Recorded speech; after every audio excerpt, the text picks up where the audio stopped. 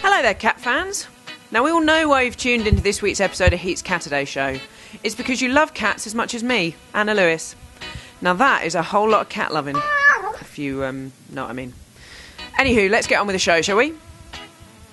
Our first cat based treat for you this week is this video of the bravest cat we ever did see. This lovely little moggy saves his buddy from the jaws of a crazy stray dog, and not once does he take his own safety into account. You just know this cat's never been saved from a tree by a fireman. Our hero.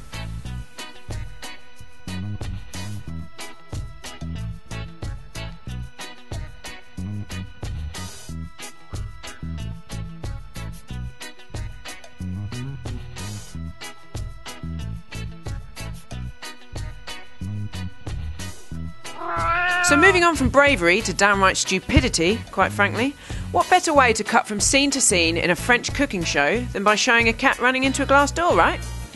Our favourite part of the whole thing? The noise.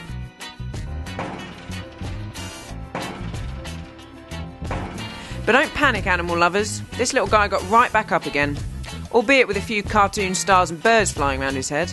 But cats love all that, right? Finally, have you ever felt like society was judging you for wanting to sit back, relax, and throw your legs up in the air like you just don't care? Well, this guy certainly hasn't. So that's it for this week's Caturday, but join me next time for more from the world's kookiest cats. I'm off for a well deserved sit down.